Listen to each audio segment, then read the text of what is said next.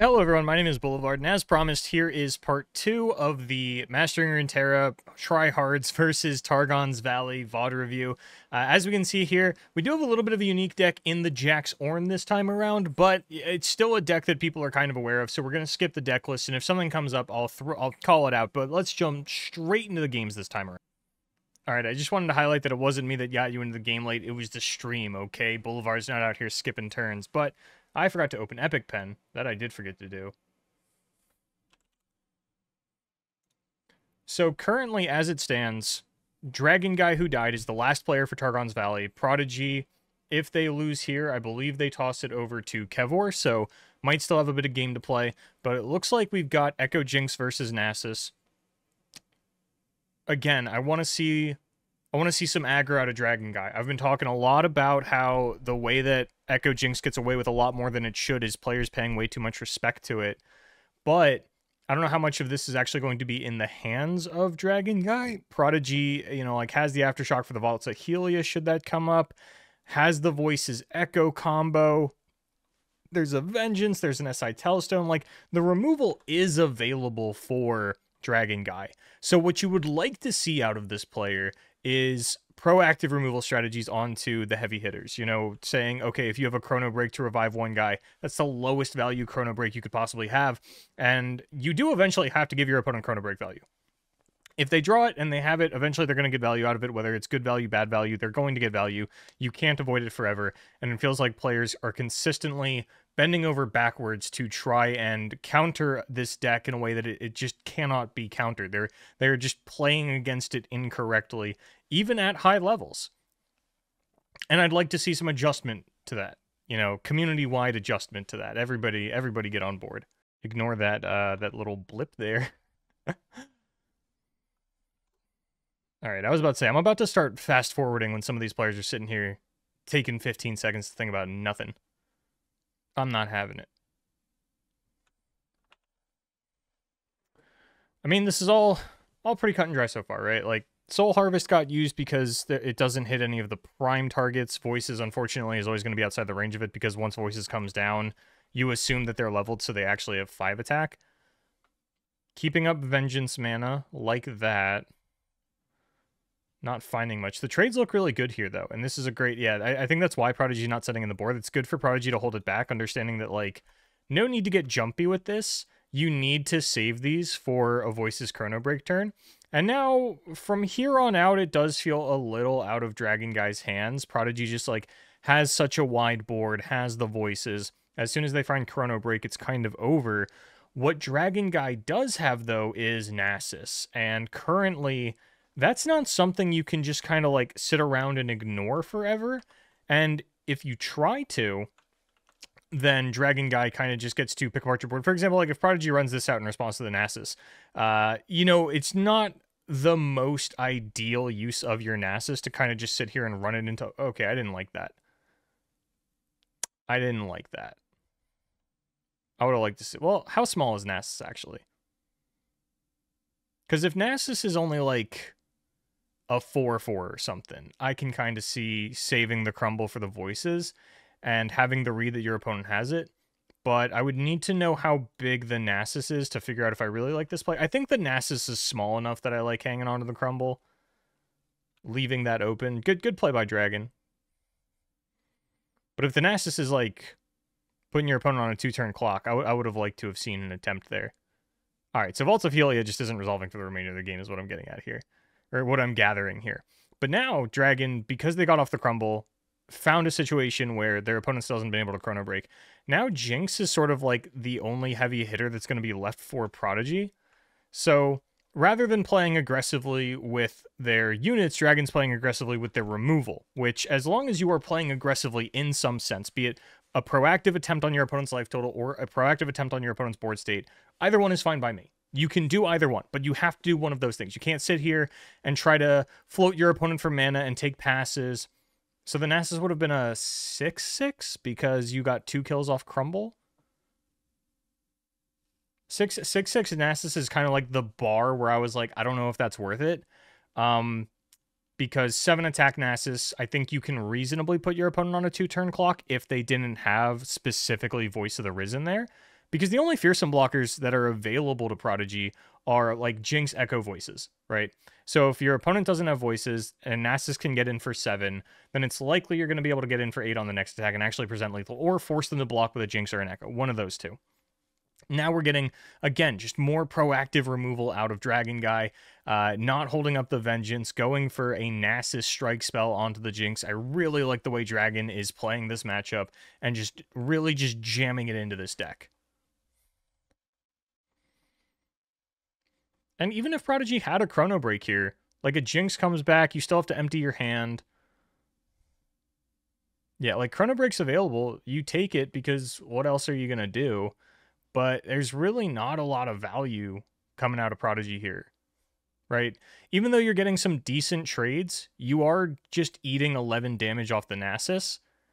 Yeah, going to okay. I was about to say, I don't know if you can actually uh not like you can't not block here because if you would go to one, Dragon Guy can like proactively uh sack one of their units to Rite of Negation to pump Nasus up to 12 and actually end the game.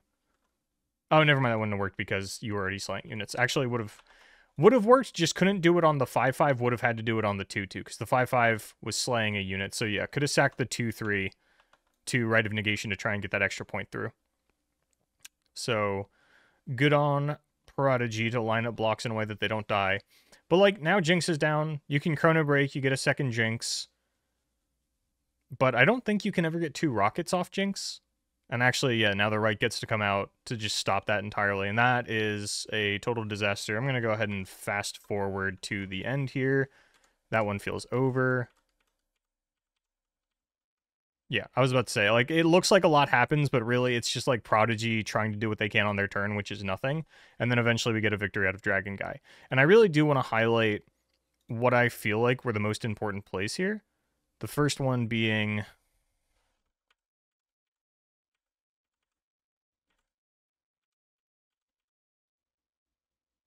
uh, like it seems kind of innocuous.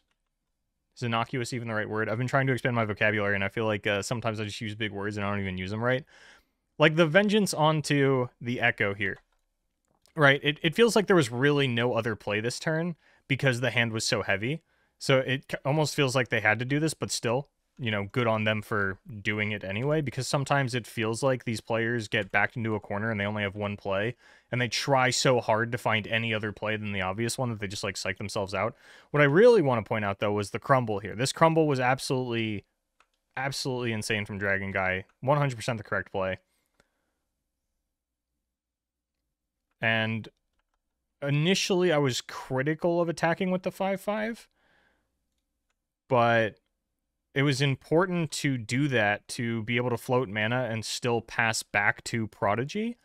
And Dragon Guy kind of had a read that there was a voices because one, the only way you really lose is voices, so you should probably play like your opponent has a voices. But also on this previous turn, when Prodigy only attacked with the Echo, instead of going for like the attacks don't look great here from Prodigy one way or another.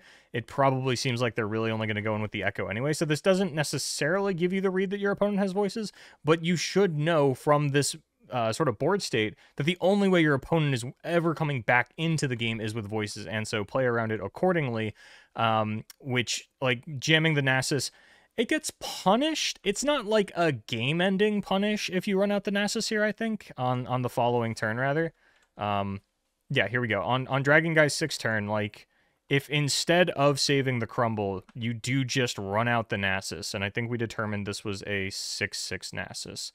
Um, your opponent plays out voices. It's a 5 4. You send in your 5 5. You might even send in like everything. You might send in your. Uh, it gets a little awkward because they have a 3 3 and a 5 4. But then, like, how much value are they getting out of these? It would be ballsy to send in everything but the Rockbear Shepherd and the Nasus.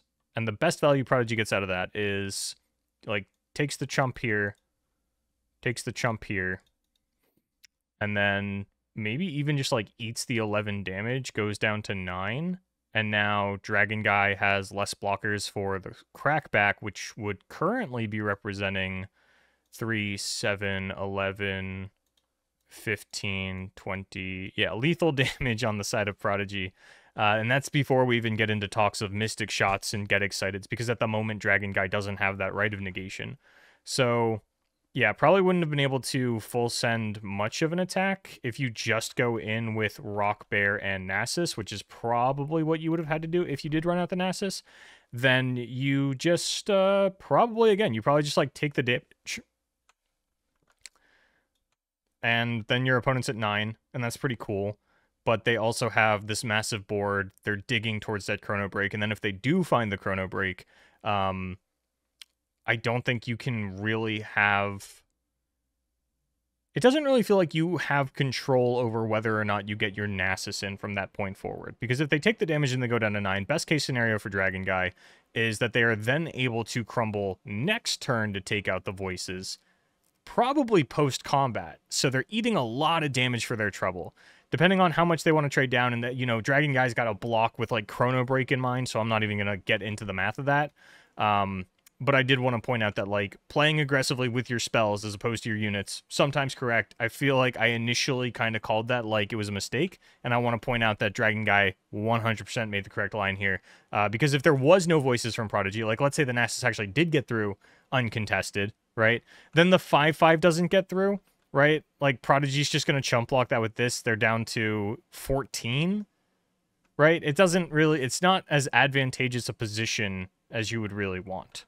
So good on Dragon Guy. Let's get into game two. Jax Ornn is a, it's something, man.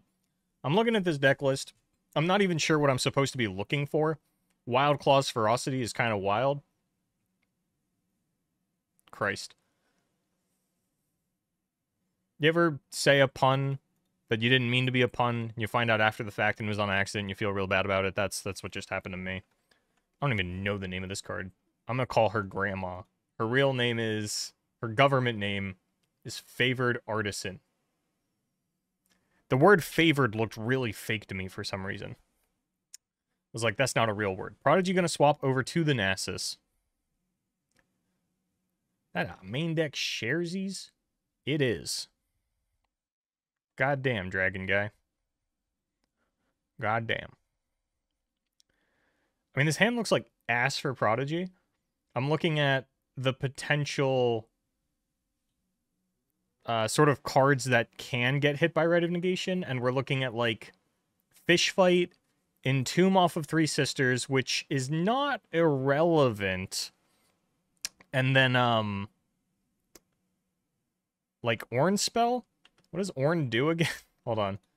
Because Ornn, like, level 2 Ornn, like, makes a spell or just summons a ram. I don't think it's actually a spell. I think you just, like, summon a ram when you attack. So, drawing the double right might even just be, like, enough of a death sentence here for Prodigy, given how efficiently Dragon Guy is tempoing out. Second Soul Harvest does kind of suck, though. Like, Prodigy, I don't even want to say stabilizing. Their Nasus is kind of getting up there. And they've got protection for said Nasus. Double Soul Harvest might have been enough to, like, hold it down, keep Prodigy in this one. Rekindler's a, an awful top deck, a terrible top deck. This is the turn where things start to amp up, though. What kind of weapon can you roll on this combat cook? Because if it is an upcycled rake, that might be enough. That said, Prodigy did just potentially grab Quietus. So we'll have to see how that goes. But it feels like a big swing could happen here depending on what comes off this combat cook. It doesn't even have to be scout weapon. Even fearsome weapon here pushes a lot of damage because of how much forging is available. Oh, and we're husking. We're husking it up.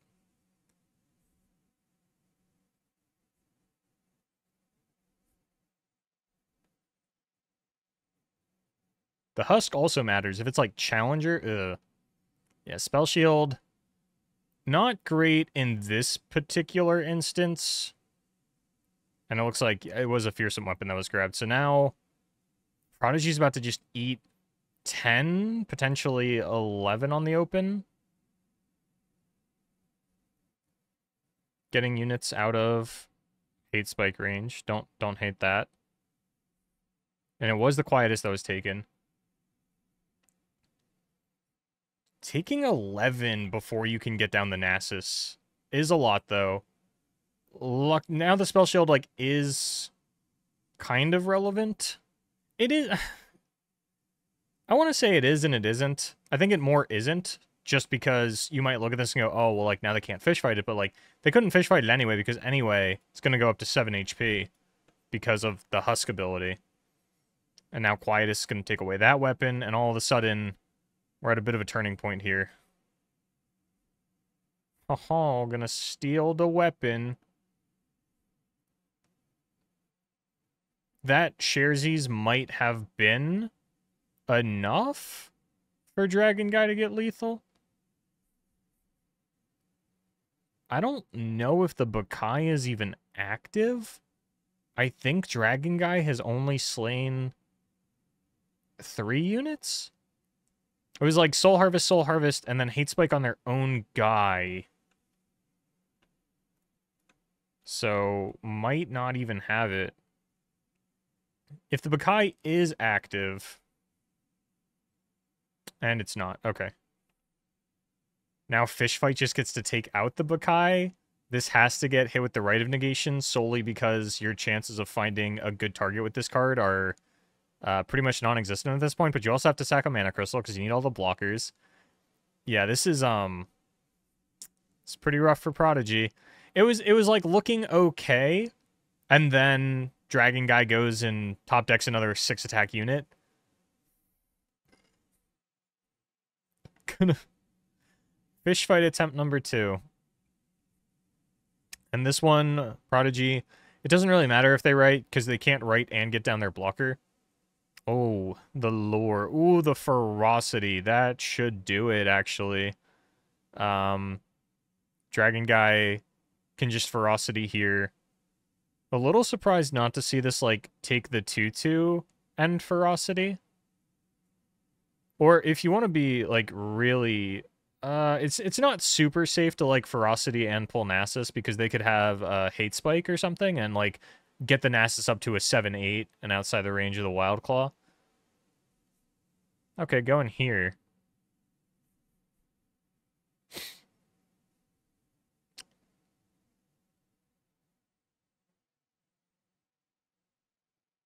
I mean, we're looking at lethal, and there's seemingly nothing.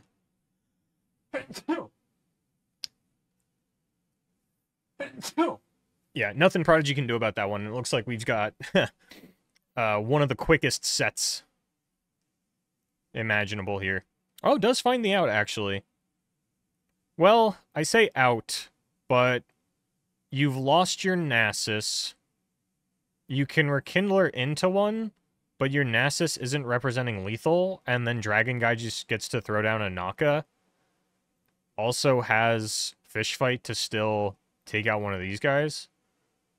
You can't even, like, attack with these now because there's, like, a 6-6 and a 6-8, so you're not getting Nasus any bigger. This should just still be lethal on Dragon Guy's next turn. Um, yeah, might as well fish fight. You know your opponent's even out of Rite of Negations at this point.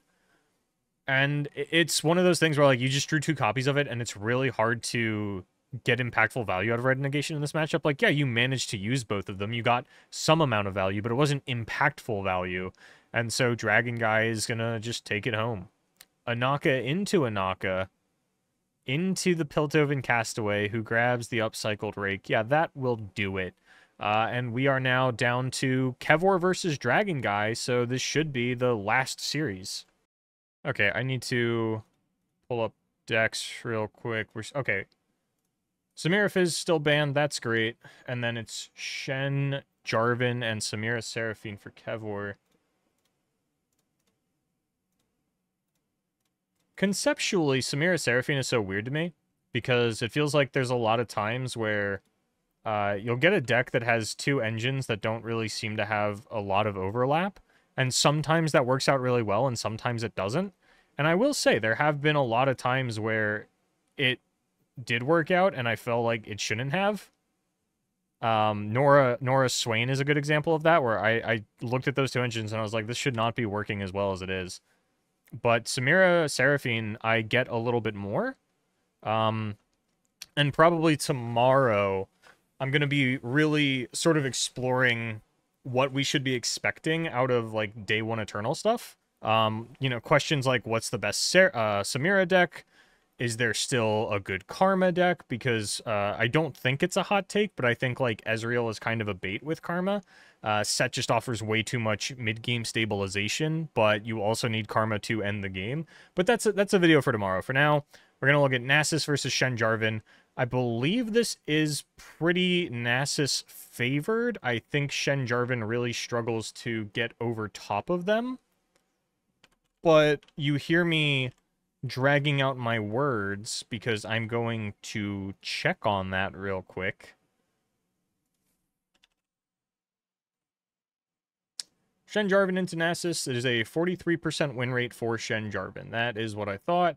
Uh, at, like right before the WCQ, I was like playing ladder to try to learn some of the decks, and I was just like jamming a lot of Shen Jarvan to figure out its matchups. And Nasus felt really bad. A big part of it being that you don't have any landmark removal. And while we've seen a little bit of Nasus today, we haven't seen Vaults of Helia do much work, which you are now about to see. And this is actually a curve that Mo was talking to me about, where you uh you don't play the clockling on one, you play it on two, so that it gets the countdown from Rock Bear Shepherd. And then because Vault of Helia goes to the right, you immediately get a Nasus on five because this'll pop. Five five. Assuming Vaults is start of round, I think Vaults is start of round.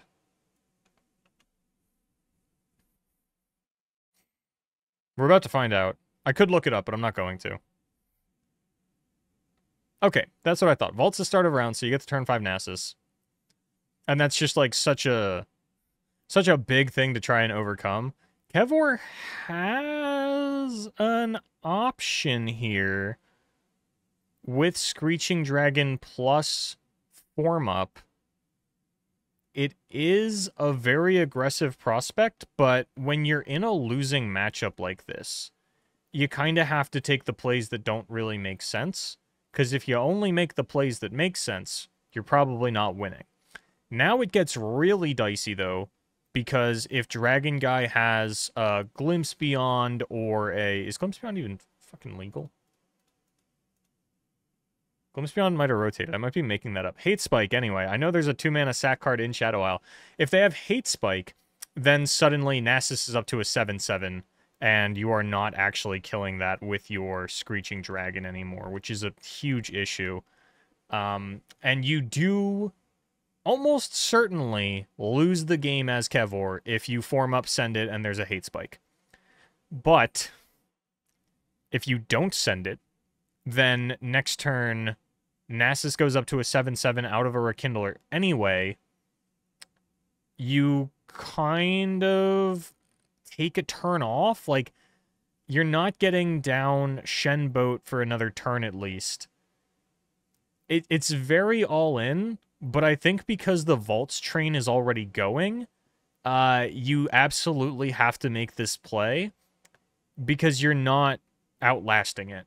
And that's a good read on the side of Kevor to understand the situation and go, hey, you know, like, it looks funky. Yes, it loses to Hate Spike, but if they, like, I can't do nothing. I can't let Nasus get another go around. Unfortunately, Baccai is going to turn into Nasus anyway.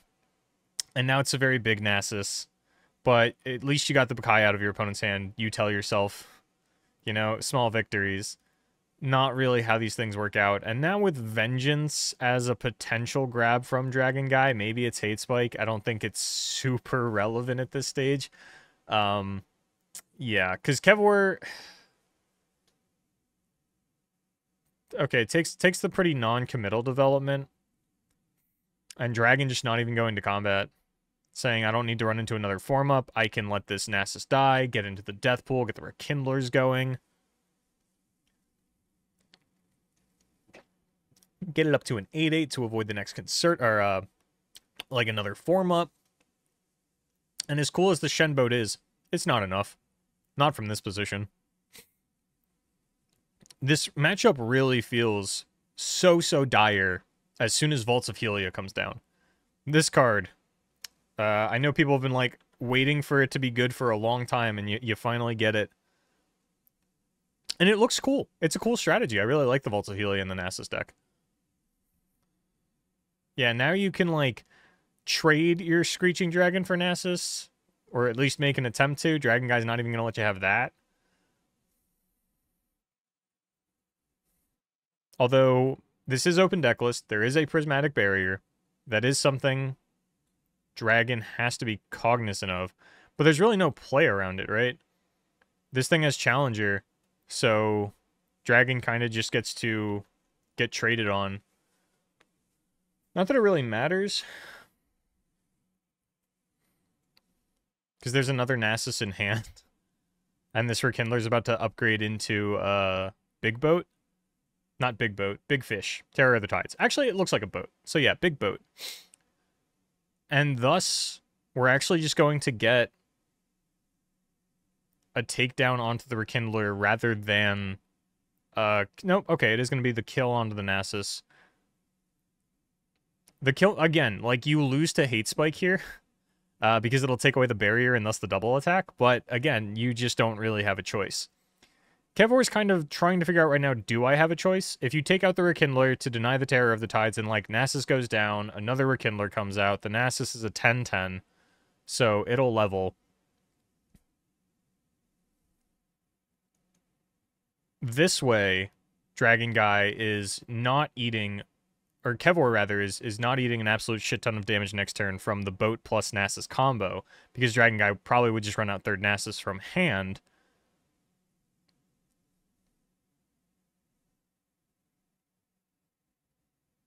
Gets the defensive prismatic barrier, but how much does it really matter? In the face of second vengeance from Dragon Guy, I'm willing to say, like, not at all. And because what we're looking for in VOD reviews is like interesting forks and decision patterns, uh, I think I am just going to fast forward to the end here. Okay, so what I what I attempted to do was um, fast forward to the end of the game because it looks very over, right?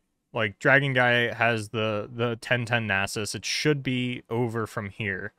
Um, so I fast forwarded to the end because I was like, we're probably out of interesting decisions that are going to be made between now and the end of the game. And when I fast forwarded, I saw that that is not the case. So I'm going to let this one play out uh, as we try and get to those interesting decisions to talk about.